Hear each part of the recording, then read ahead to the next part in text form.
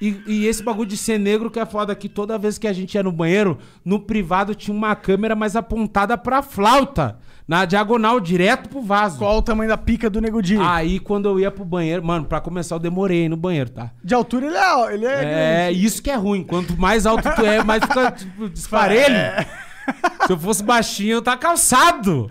Eu sou grande, eu tenho 90, é foda. Ele é bacana, ele é lonhado. Só que eu sou muito grande, entendeu? Não compensa. Aí é o seguinte, eu tô indo pro banheiro, eu tô pensando, putz, os caras estão gravando. E não é uma câmera que não sai, óbvio, mas é que a produção fica lá acompanhando essa câmera. Aí, porque dizem, ah, uma câmera por precaução, se o cara passar mal no banheiro. Mas ela tá apontada pro cacete do cara, velho. Precaução, cacete. Precaução do caralho. Eu ficava pensando assim, cara, o que, que, que será que o ser humano que tá atrás dessa câmera tá fazendo? Os caras almoçando e eu cagando, me vendo cagando, me vendo mijar. Será que o Boninho tá lá atrás? Será que eles estão. Que na Globo é uma sujeirada brava. Eu, será que eles estão tudo pelado lá, se, se punheteando, vendo o nego de. Uh, o Boninho com os dedos no cu? Sei lá, alguma coisa. Alguma coisa tá acontecendo. Uma sujeira braba. Os contra-regra, tudo só de crachá. Com a pista de fora sacudindo pra pegar sangue. Sabe aquela punhetinha que ele tá mole e tu sacode pra pegar sangue? Será que eles estão assim? E eu ficava muito preocupado com isso. E às vezes não vinha o mijo. Aí quando eu ia mijar, eu já ia no trajeto assim. "Uh!" eu já ia assim, tá frio nessa porra. Caralho. Falando- Cara, sai do sul, mas o sul não, não sai da gente. Porra, tá frio. Pô, mas- aí, aí eu falava umas paradas assim, pô. Essa coisa aí que os caras dizem que negro tem pau maior, isso é mentira. Não dá pra ir atrás.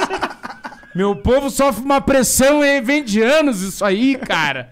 Aí eu entrava lá e mijava. Cara, é muito ruim, velho. E quando tu vai cagar. Ele que falou que, uma- que tinha uma técnica que ele encostava a cabeça assim na parede pra poder mijar. Daí a câmera não depois, tu, depois de um tempo, foda-se. Deixa o Boninho gozar olhando meu pau, foda-se. Eu pensava assim. Aí, quando eu tava cagando, teve um dia que deu diarreia em mim, uma diarreia braba. Acho que foi muita maionese. Aí, eu gosto de maionese. Caseira, bandida, aquela verde. Aí eu tava cagando assim, mas aquele, aquele churril.